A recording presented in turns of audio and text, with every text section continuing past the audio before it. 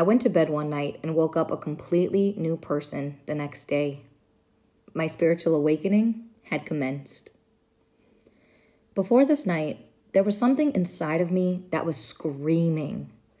It was asking for help, for someone to see beyond my smile, beyond my perfectionism, beyond my need for constant compliments and validation, beyond a life that looked normal.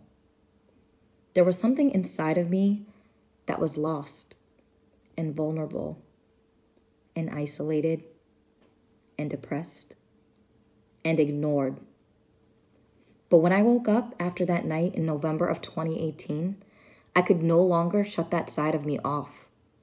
Instead, I knew I would have to face rocky times ahead, but I also instinctively knew that if I put in the work to unload every pebble of shame or guilt or anger and sadness, that I would grow into being my own rock, my own pillar of strength.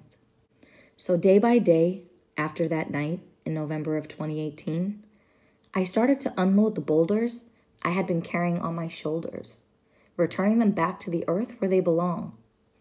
And it was only through this cathartic releasing that I could finally stand tall, even amidst my own rubble, and see that I no longer had to gravel with myself to love myself. It all started from that night in November of 2018, but the process of building a rock solid foundation internally will never end. They say that rocks always remember, and it's a reminder to me to never forget how I went from rock bottom to now rocking the life that I truly love to live.